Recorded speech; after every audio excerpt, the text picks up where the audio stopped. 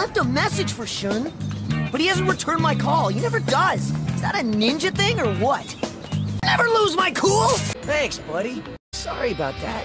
Wicked! Let's do this, guys! What does meeting people have to do with fighting? And secondly, I don't need people to help me grow up. I drink milk.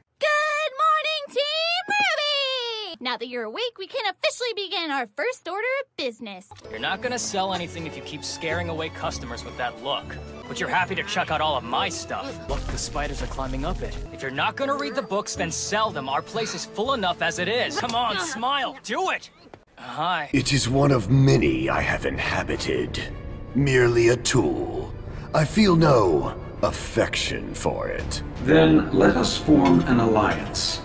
Let me set you free. To what end? All biological life must be exterminated. The soul's fire extinguished. Agreed. But how?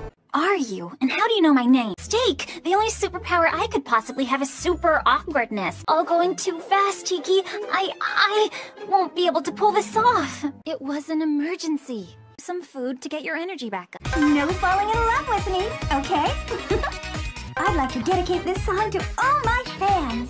Pretty Bombers here. I hope you're not gonna say you went easy on me because I'm a girl. Songs?